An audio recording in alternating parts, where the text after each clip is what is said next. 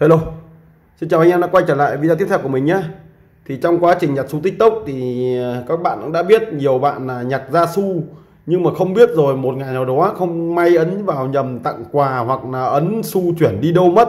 Đến lúc kiểm tra xu thì thấy số xu bị sụt giảm mà không biết nguyên nhân vì đâu và nó mất đi đâu. Thì trong cái video này thì mình sẽ chia sẻ cho anh em để cách để kiểm tra là cái số xu đến là mình đã tặng cho ai hoặc số xu này từ đâu ra và nguồn xu như thế nào thì để kiểm tra được thì các bạn à, thứ nhất là các bạn thoát này ra này, các bạn vào hồ sơ này, sau đó các bạn kích vào ba chấm trên cùng này. Tiếp theo, các bạn xuống à, cài đặt riêng tư này. Trong cái phần cài đặt riêng tư này, các bạn kích vào phần à, số dư này. Trong cái số dư này, khi hiện ra các bạn ấn vào chữ nạp này đấy. Tiếp theo, các bạn ấn vào cái dấu ờ, trên cùng bên phải này, nó có hình ờ, như hình chữ đôi này. Các bạn kích vào đây này. Đấy, thì đây nó sẽ là tất cả cái lịch sử giao dịch của bạn, của cái nick mình đang dùng. Hiện tại như đây. Đây là mình ờ, nhặt được hai xu này, nhặt được một xu này.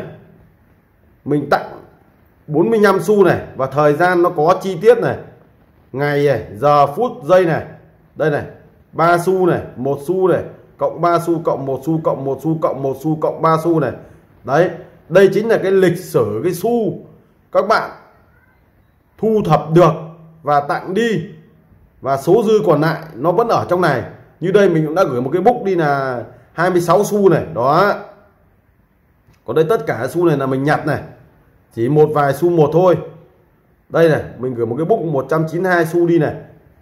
Đấy, nên các bạn lưu ý là chỉ cần à, vào mỗi cái lịch sử này là các bạn biết được là xu đến từ đâu, nhặt từ ạc nào, nhặt từ nước nào và chuyển cho ai.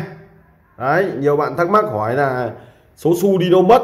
Bởi vì các bạn chỉ ấn nhầm thôi mà tặng vào, có khi các bạn có một nghìn xu nhưng các bạn tặng vào cái món quà lên đến năm sáu trăm xu là chuyện bình thường nó chỉ là nhỡ tay thôi, hoặc là vô tình à, mất thôi. Video chia sẻ của mình đến đây kết thúc nhá. Cảm ơn các bạn đã theo dõi video của mình nhá.